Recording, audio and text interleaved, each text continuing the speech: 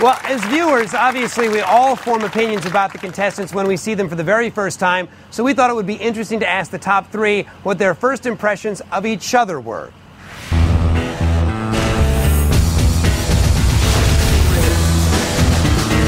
The first time that I saw Syeesha was actually at Hollywood Week. I remember she lost her voice, so she was carrying the pad around. And I'm just like, oh my gosh, how are you gonna sing and stuff? So my first impression of Syeesha was that she was a mute. And then on the stage, all of a sudden, it just like came out in like explosion, like just like. and now she's totally opened up, and she's one of the most energetic, funny people here. And she's actually kind of a goof. I'm glad you know me now. Because apparently she loves my jokes, which, uh, if the pirate joke is any indication, Syeesha has a terrible sense of humor. It's rated R. Huh? I remember David Archuleta singing, and I was like, he's so cute. Oh, look how like pure his voice sounds. I remember even calling my mom and, telling her about you. Really? And David Cook, I was like, it's pretty fancy.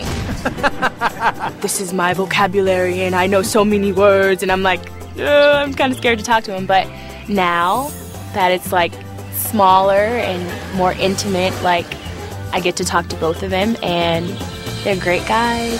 Now, when I first met Dave, he was really, really shy, which is, I know, huge shocker. the one thing about Dave that I don't think a lot of people realize is he's got a real dry wit. He's really funny, even when he's not trying to be funny. What does dry wit mean?